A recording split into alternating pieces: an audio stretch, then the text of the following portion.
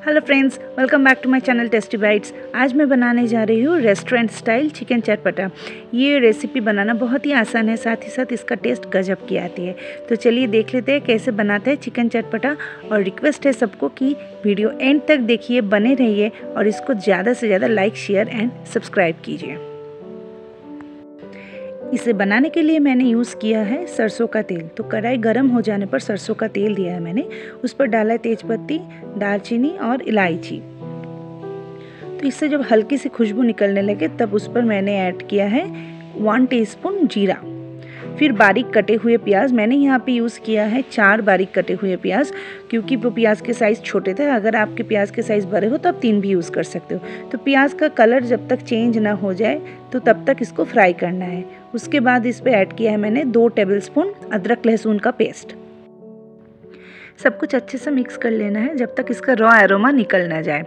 फिर उस पर ऐड करनी है चिकन पीसेस। तो यहाँ पर मैंने लिया है 600 ग्राम बोनलेस चिकन तो चिकन के पीसेस मैंने छोटे छोटे लिया है ताकि अच्छे से भून जाए। अभी जब तक ये चिकन का कलर जो है थोड़ा हल्का सा वाइट ना हो जाए, तब तक इसको फ्राई करना है।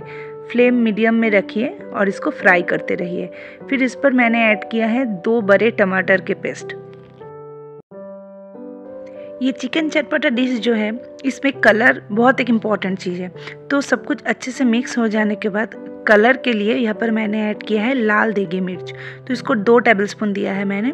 वन टी स्पून जीरा पाउडर एंड टू टीस्पून धनिया पाउडर फिर ऐड किया है मैंने हल्दी पाउडर फिर इसको अच्छे से मिक्स कर लिया है।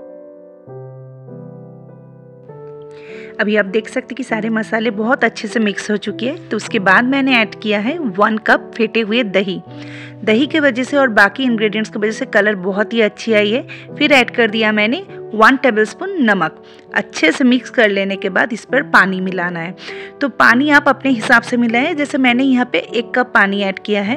वन टेबलस्पून गरम मसाला पाउडर और थोड़े क्रश किए हुए कसूरी मेथी ऐड किया है। फिर सबको अच्छे से मिक्स करके आप ढककर भी कुक कर सकते हैं या फिर अगर चिकन हल्का सा कुक हो गया है ऑलरेडी तो ओपन भी रख सकते हैं।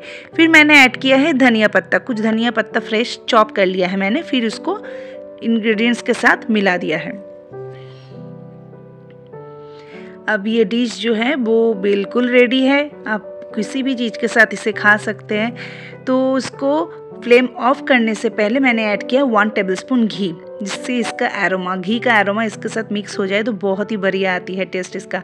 तो ये बिल्कुल अभी रेडी है, आप पराठे, रोटी या फिर राइस किसी भी चीज़ के साथ इसे एंजॉय कर सकते हैं। वीडियो अच्छी लगे तो इसे लाइक कीजिए शेयर कीजिए एंड सब्सक्राइब कीजिए।